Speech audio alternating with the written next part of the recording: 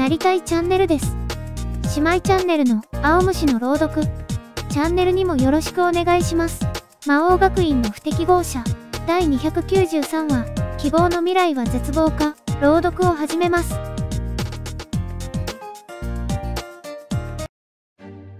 魔王学院の不適合者。第293話、希望の未来は絶望か。激鱗酒を先に飲み干したのは、レイとミサ。彼らの勝利が決すると、騎士たちからどよめきが溢れた。この原曲世界は、我ら阿賀波竜騎士団の懐も同然。まさか、この場において、あの団長と副団長を打ち倒す者がいようとは。予言に挑むという名目上、彼らにも勝機はあったはあったが、いや、それにしても10万分の1、わずかに等しい希望の道を選び取るとは、あの二人、波の力ではない。団長たちを退けた魔法のようになったのは、あのレイという男。剣士でありながら、剣を持たず、自らのパートナーを信じきるという覚悟、それを上回るほどの深き愛情。そして、なんという勇敢さだ。我らにできるか？剣を捨て、仲間を信じきることが、口で言うほど簡単なことではないぞ。剣を極めた末に、剣を手放した。あの男、無剣の境地に至っているというのか。しかし、騎士たちが称賛の声を上げる中、まるで彼らの仲間かのように、背後の男が続いた。二人だけの愛の世界というのなら、切り裂かれてからが本番でしょう。シンが冷たい視線を放つと、レイが殺気を感じ取ったように苦笑いを浮かべていた。機会があれば、試してみるがよい。あの二人はまだまだ強くなるだろう。ギラリ、と魔眼を光らせ、シンは言った。仰せのままに、足を踏み出し、俺はディードリヒとナフタの前に歩み出る。文句はあるまい。すると、ディードリヒは豪快な笑みを覗かせた。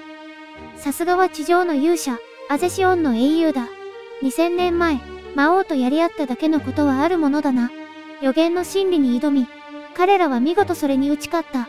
称賛しようぞ。騎士団たちは姿勢を正し、剣を持った右手を胸のあたりに持ってきて敬礼した。たった今、レイとミサが見せたように、10万分の1の未来を選び取ることはできる。ならば、何を諦める必要もあるまい。お前は、すべてを救う道を歩むべきだ。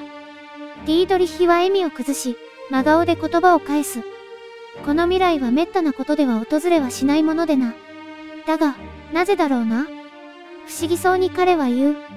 お前さんならば、この未来にたどり着く、そんな予感がしてならなかった。ディードリッヒはゆるりと俺の近くへ歩いてくる。この未来が今となったならば、お前散歩オーガで医師オラに連れて行くのはやぶさかではない。だが、一つ、約束してもらいことがあってな。ほう。選定審判の終焉を諦めてもらいたいのだ。ふむ、意外な申し出だな。理由を聞こうか。お前が神の代行者になりたいようにも見えぬ。確かに、そんなものは俺の絵ではあるまいて。自重するように彼は笑い飛ばした。だが、絵ではないからといって、やらねばならぬことはあるだろうよ。理由は二つだ。一つは力よ。神の代行者となれば、秩序と張り合うだけの力が得られる。予言を覆すだけの権能を得ることもできよう。そうは思えぬ。ディードリッヒの言葉を俺は即座に否定した。神は秩序だ。代行者もまた同じ存在だろう。未来神ナフタが見るスータの未来は、その秩序によって構成されている。どれだけの力を持とうと秩序たる神には、秩序だった未来を、覆すことはできまい。秩序は秩序を守り、成立するように働く。代行者になってしまえば、逆に予言を覆すことはできなくなるだろう。お前さんの言うこともわかる。正しかろうよ。しかし、それが予言を覆すに至る、最善の未来だ。ふむ、それは、もう一つの理由とやらがあるからか？ディードリッヒが大きくうなずく。未来神ナフタにも、ただ一つ先の見えない未来がある。アガハの検定医は神妙な顔つきで切り出した。お前さんの有盲点ではなく、暗闇の未来がな。それこそが、選定審判の終焉だ。終わりの始まりから先、ナフタの心眼にも映らぬ未来が訪れる。早い話、選定審判がついえる未来は、予言が効かぬというわけか？端的に言うのならば、そういうことになるだろうよ。ならば、答え合わせは早い。俺は選定審判を終わらせるつもりだ。お前の予言に全てを救う未来がないというのならば、見えていないその選定審判の終焉にこそ、希望があるのだろう。俺の言葉に、ディードリヒは厳しい面持ちをしたままだ。無論、これとて奴には分かっていた未来ではあるからな。選定審判の終焉には、絶望の未来しかない。我ら騎士は命を賭して、かの審判を守るべし。これが代々我が国に伝えられてきた、アガハの予言だ。その予言は誰が伝えた？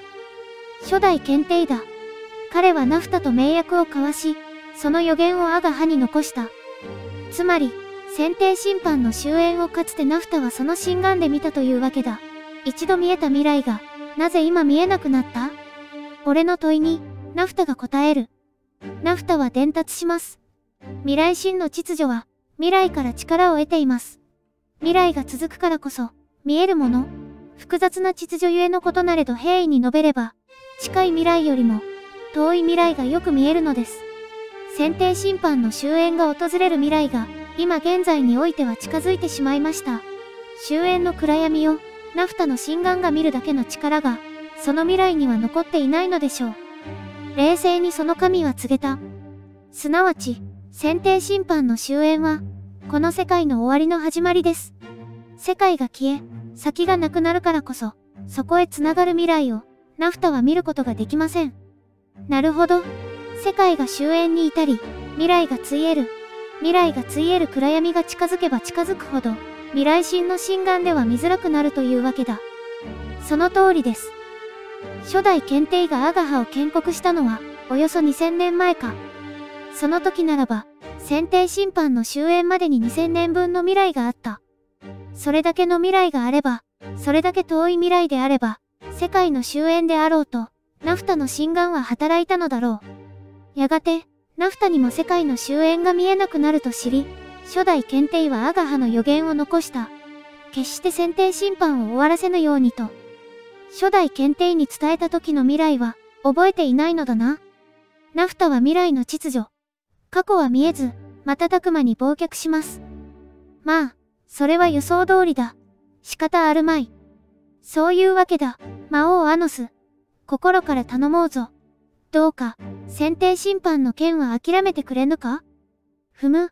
選定審判の終焉が、世界の終焉とはいえ、ナフタに見えぬ未来というのは間違っていまい。ディードリッヒは苦い表情でうなずいた。お前さんの言うことはわかっている。世界の終焉だからといって、そこに希望がないと思ったか？俺の言葉に、ディードリッヒは目をつぶり、首を左右に振った。深く、うなるように、彼は息を吐く。そいつは、どうだろうな？見えぬ未来にこそ、希望があるはずだ。そいつは間違ってはなかろうて。だが、今見えぬだけだ。アガハの予言がある。初代検定は確かに、その暗闇の中を覗き、世界が滅ぶと知った。選定審判は決して終わらせてはならぬと伝えたのだ。初代検定が、本当に終焉を見たのか、確かめたわけではあるまい。おうとも。だが、不可能が見えぬゆえに人は希望を見るのだ。突き進んだ果てが、絶望であることも知らずに。未来が見えぬ道なら、ディードリッヒ、預言者の出る幕ではないぞ。スータの絶望、無限の悲劇が襲いかかろうと、余さず俺が滅ぼしてくれる。俺の顔を真っ向から見返し、堂々とディードリッヒは言葉を述べた。最善の道を積み重ねた先にこそ、真の希望があるはずだ。世界の終焉が未来に横たわっているというに、それを希望だと突き進むのは愚かであろう。さて、俺にとってはいつものことだがな。お前も、ナフタも、よく見える心眼を持ってしまったがゆえに、ただ一つ見えぬ不安に怯えているだけではないか？王さ、怯えているとも、俺は国を背負っている。この世界の命運さえも、予言一つにかかっている。怯え、恐れ、おののき、脅威から民を守るのが王の役目にたなるまいて、戦以外で、勇猛さを見せつけても民は守れぬだろうよ。道理ではあるがな。だが、それでは救えぬものもある。アガハの予言では、それは世界の終焉だ。希望と信じ、突き進んだその未来に絶望があった時、お前さんはどうするつもりだ？予言など覆せばいい。つい今しがた、我が友レイがやってみせたのと同じようにな。10万分の1の未来を勝ち取ったに過ぎまいて、予言に挑みはしたが、予言を覆したわけでもない。ネイトとシルビアの疑似心眼には見えなかったとはいえ、ナフタの心眼には鮮明に見えていた未来だ。俺の力とて予言の範疇のうち、お前はそう言ったが、ディードリヒ、本当にそうか？奴に問い突きつけ、続けて言った。この原曲世界で、ナフタが作り出したのは仮想的な予言だ。仮想的な預言者として用意されたのがネイトとシルビア、そしてその予言の枠に収まらぬ仮想的な不適合者として用意されたのが、レイとミサだ。ナフタとディードリヒは俺の言葉に、真剣な表情を浮かべながら、耳を傾けている。一度は未来を見て、この説明を聞いているにもかかわらずだ。ネイトとシルビアに見えなかった道こそが、10万分の1の未来。ナフタの言葉で彼らはミサとレイにも正気があることは知っていたが、その道筋までは完全に見えなかった。ナフタの言葉がなければどうだ？彼らはミサとレイが勝つ未来が存在しないと予言したはずだ。それは正しいと示すように、ディードリッヒは反論しない。ネイトとシルビアを預言者とすれば、確かにミサとレイはその予言を覆した。つまり、ナフタの疑似心眼に盲点があったのだ。無論、未来神ナフタの心眼にはその盲点が見えていた。だが、ナフタ以上に未来が見える存在がいると仮定するなら、今と同じことが起きるはずだ。ミサとレイがやってのけたことは、程度の問題に過ぎない。つまり、予言は覆すことができるという証明だ。そいつは、お前さんの仮定が正しいとするならばの話だ。ナフタは真実を伝えます。この実は、未来を司る秩序。ナフタ以上に未来が見える存在はなく、この心眼は余さず未来を見据えるでしょう。ナフタの言葉に、続けてディードリッヒが言う。ナフタの盲点があるという根拠がない。お前さんにも、必ず未来が覆せるというわけではなかろうて。もしも魔王に全てのことがなせるのならば、記憶を失いはしなかったはずだ。つまり、それが根拠だ。ディードリッヒ。当たり前のことを、俺はただ当たり前に告げてやる。この俺でさえも、記憶を失うことがある。ならば、未来神に見えぬ未来があって叱るべきだろう。完璧な存在などありえぬ。